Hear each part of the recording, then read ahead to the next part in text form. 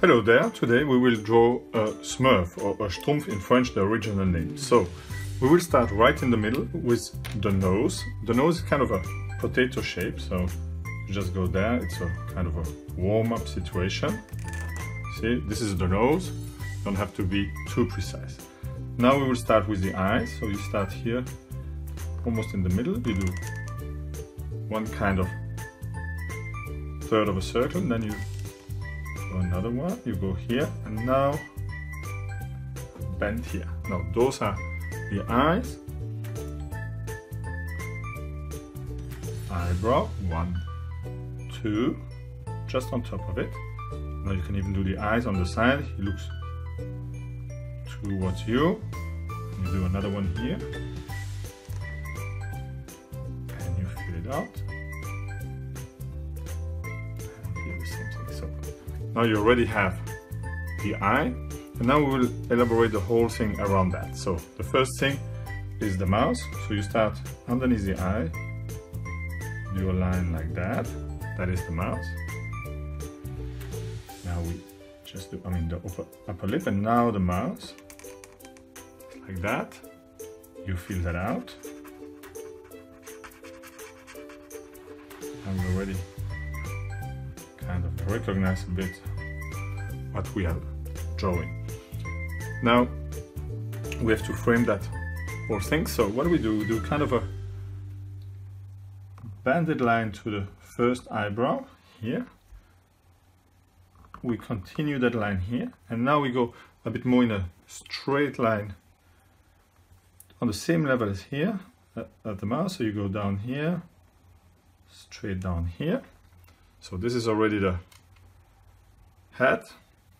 Now from here we go and we do the ear. So just a bit before you go kind of over like a C. Try to draw a C. Then you do a parallel line inside and this one comes back in the middle like that. And here you do a quarter of a circle and you fill it out. And you already have the ear.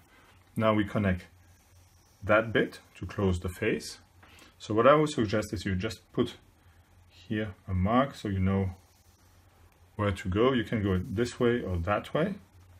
I would try to do it that way. Do I go normally the other way around?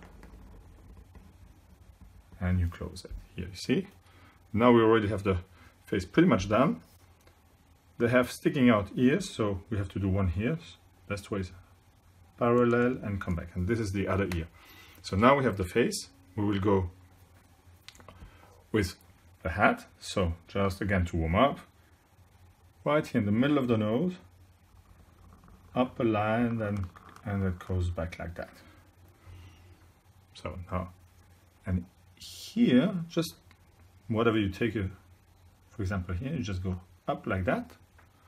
And now we just do the whole kind of a loop. So we start here between those two points here, and now we go a reverse C, and now you come down and try to get back to the ear. Here we go.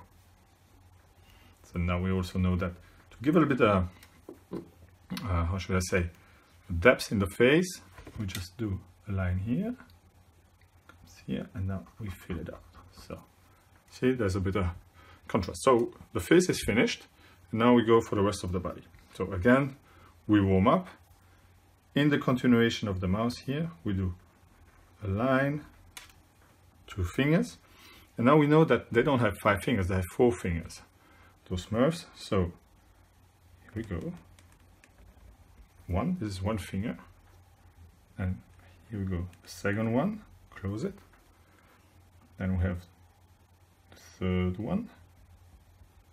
We come back and here. Now we close this one here. Now we do parallel, starting right in the middle of the mouth here, down to here, parallel, and now we do the thumb. So the thumb is like that. Go forward, and you come back. So we already have one hand we will have the other one here. Now we warmed up with the hand, so a line, kind of straight, Start the hand, the thumb, here. And now we have the fingers again. We have that one, now we have the three other ones. Now we do one, two, three. Now we come back to here. And now with the, this is the palm, so we do the inside of the hand and we do that line right in the middle, maybe the one here. So you can see that's the inside of the hand. Now we do a parallel line to close the arm. Here.